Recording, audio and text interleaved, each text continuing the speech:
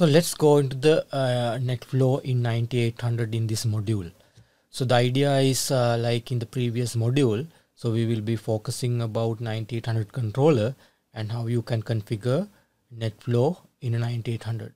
So we will basically uh, organize the module. Uh, first we talk about some NetFlow, NetFlow export configuration and then uh, we cover some AVC, application visibility and control. Uh, we try to do the same thing in AireOS, you know, we uh, tried the central mode and the flex connect mode. So we'll do the same thing in here uh, just to get the comparison as well.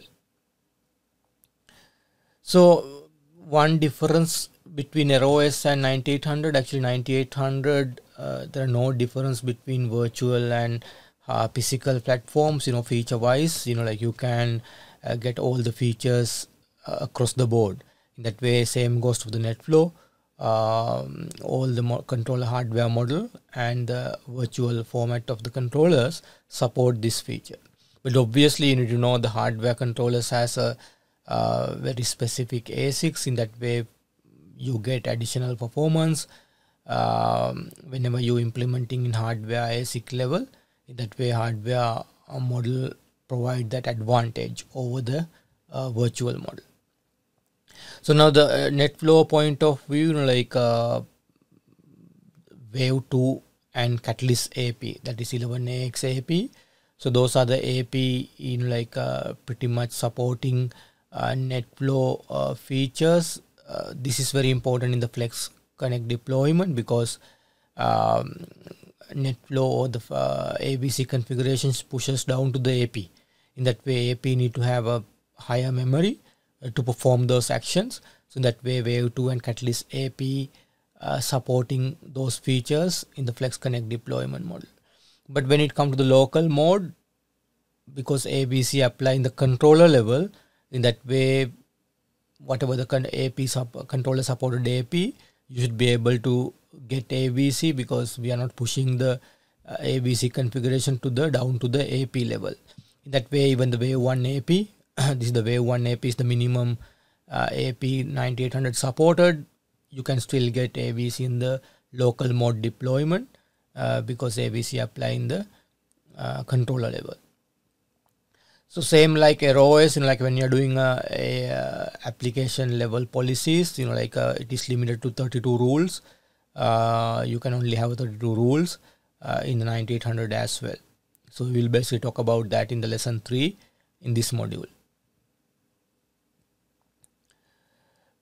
So before going to the you know like uh, individual level let's have a summarized view. What is basically supported in this particular three deployment model? Uh, local mode flex mode and the sometimes we call fabric mode uh, sd access wireless mode.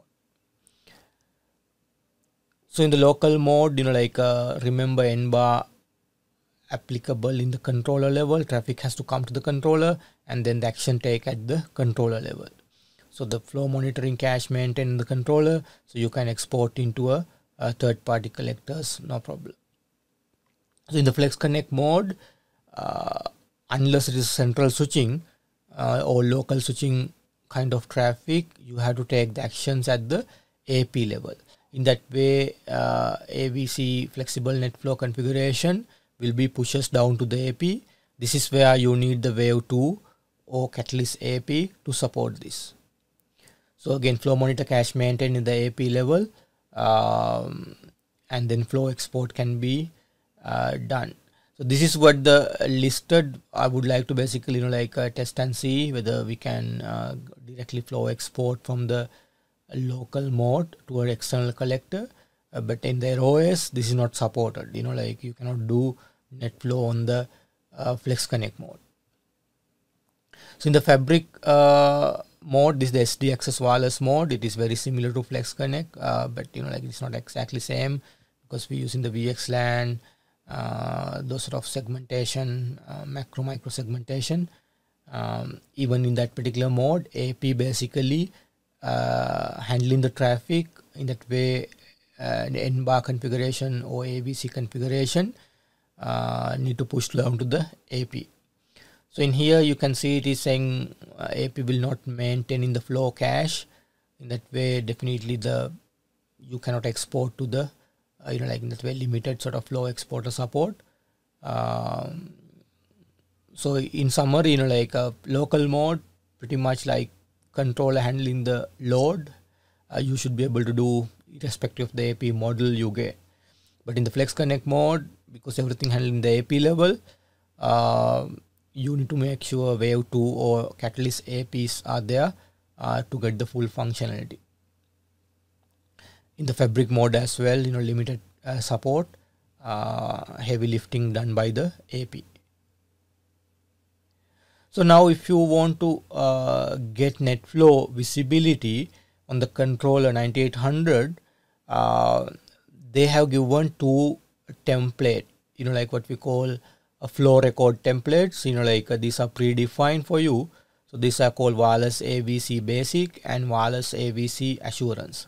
So ipv4 and ipv6 you can define or you these are defined two different ipv6 information v4 information is different. Because of that they have defined two different flow record template uh, that you can use. So now uh, point to remember is you know like whenever you using this assurance template it's trying to collect some application response detail.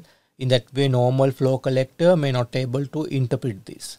In that way you know like this is primarily targeting cisco dna center. If you're using dna assurance you know like that way it can interpret certain detail. Or if you have a Stealthwatch you know like Stealthwatch now known as a cisco secure network analytics. So they may understanding all this particular field extracted by Cisco. Uh, other than that, this assurance template may not work well with the third-party NetFlow tool.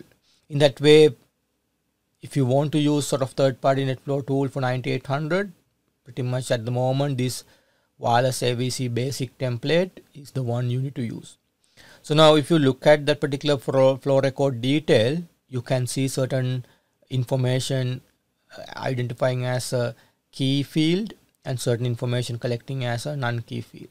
So this is the five tuple information in like protocol, uh, source destination address, source destination port, and then the flow direction and wireless SSID. This is something unique to the wireless controllers because normal router switches you don't have this kind of detail. So then they're basically collecting the application name, uh, AP MAC address, client MAC address, and bytes and packets that's pretty much the standard sort of uh, value they're collecting uh, whenever we're using the basic uh, template.